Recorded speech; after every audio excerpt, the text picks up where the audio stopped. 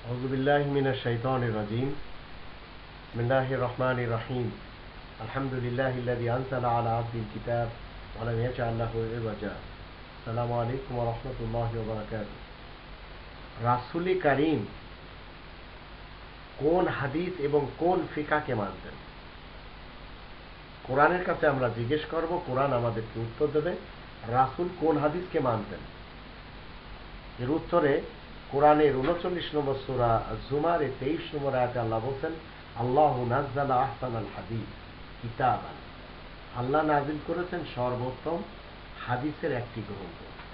তো রাসুলি করিম সর্বোত্তম হাদিসের একটি গ্রন্থকে মানতেন, যেটা আমার হাতে এখন রয়েছে।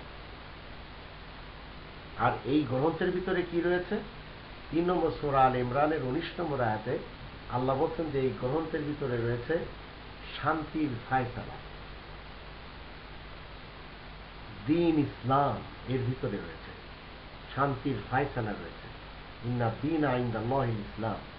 শান্তির ফায়সালাগুলি আল্লাহ তালার নিকট গ্রহণযোগ্য।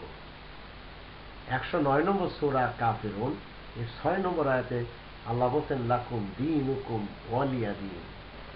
তোমাদের জন্য তোমাদের ফায়সালা আর আমার জন্য আমার ফায়সালা রয়েছে। তো আল্লাহ তালার পক্ষ থেকে যে ফায়সালার গ্রন্থটি, এটি হচ্ছে রাসুলি কারিমের কিতাব। এটি আল্লাহ তালার গ্রন্থ।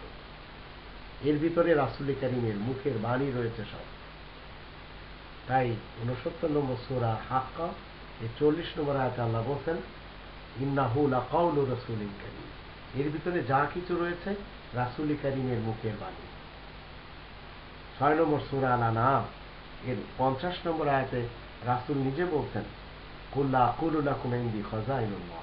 তুমি বলে দাও, আমি তো বলতে চাচ্ছি না যে আমার কাছে আল্লাহ তালার খাজানা রয়েছে। ওলা আলামুল গাইব আমি অদৃশ্যের কোনো কিছু জানি না। ওয়ালা আকুল্লা কুমিন্নি মালাক, আমি এটাও বলছি না যে আমি ফেরেস্তা ইনাত্তাবিও ইল্লা মা ইউহাইল্লাইয়া বরঞ্চ আমি অনুসারী যা আমার দিকে ওহি করা হয়। কুল, তুমি বলে দাও খালি আস্তাবিল আমাওয়াল বাসির? যারা অন্ধ এবং যারা দেখে, তারা কি কখনো সমান হতে পারে?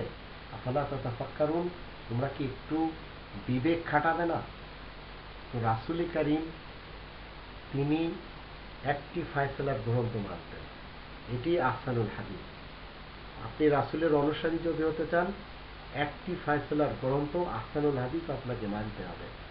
আর এর ভিতরে যতগুলি কথা লেখা রয়েছে সেগুলি হচ্ছে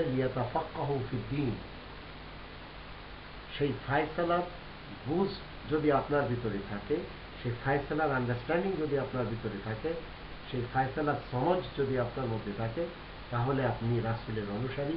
অন্যথায় আপনি যা কিছু বলে যাচ্ছেন, যা কিছু মেনে যাচ্ছেন, সেটা আপনার ব্যাপার।